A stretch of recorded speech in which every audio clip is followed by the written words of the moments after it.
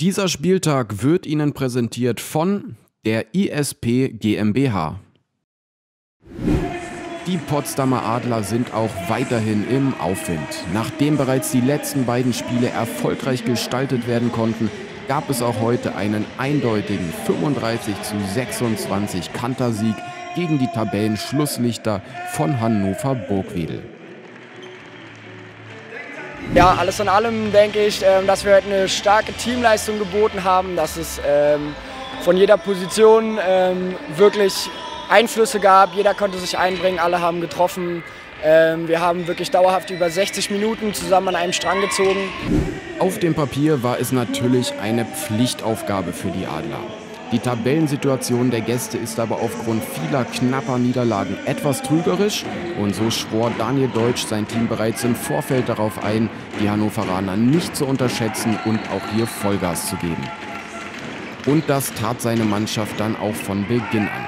Vor allem im Abschluss waren die Gastgeber eiskalt. 18 der 20 Torversuche konnten sie im ersten Durchgang erfolgreich abschließen und hatten so bereits nach einer Viertelstunde eine Sechs-Tore-Führung inne. Absolut herausragend war auch wieder einmal Torwart Fabian Pellegrini. Mit neun Paraden alleine im ersten Durchgang bereitete er den Gästen regelrecht Kopfschmerzen. Alles in allem eine starke erste Hälfte, die auch mit einer klaren 18 zu 12 Führung belohnt wurde. Ja, in der ersten Halbzeit machen wir, glaube ich, 18 von 20 Versuchen rein im Tor. Das ist eine unglaubliche Quote. Defensiv waren, glaube ich, 11 oder 12 Gegentore auch okay.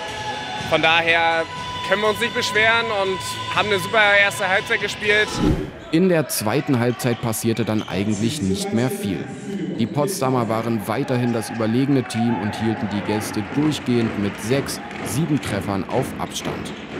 Nur selten gelang es den Hannoveranern, selbst einmal Tempo zu machen und wie hier die Adlerabwehr zu überrennen.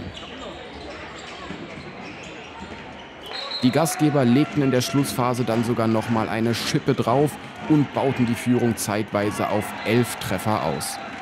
Auch Joe Böde, der heute nach langer Verletzungspause seine ersten Spielminuten der Saison absolvierte, konnte mit einem Doppelschlag kurz vor Schluss noch einmal ein Zeichen setzen. Am Ende war es ein verdienter Heimsieg, der die Potsdamer nun bis auf den achten Tabellenplatz klettern lässt. Ja, ich bin sehr glücklich, dass wir jetzt auch mal so ein Spiel in der Saison hatten, ähm, wo wir relativ wenig kämpfen mussten. Ähm, im Endeffekt oder in der Schlussphase, sage ich mal, und das Ding mehr oder weniger runterspielen konnten. Mit drei Siegen in Folge ist die Unsicherheit der letzten Wochen nun vollends verflogen. Perfektes Timing, denn am nächsten Samstag geht es nach Oranienburg zum Brandenburger Handball-Derby gegen die Dauerrivalen vom OHC. Dieser Spieltag wurde Ihnen präsentiert von der ISP GmbH.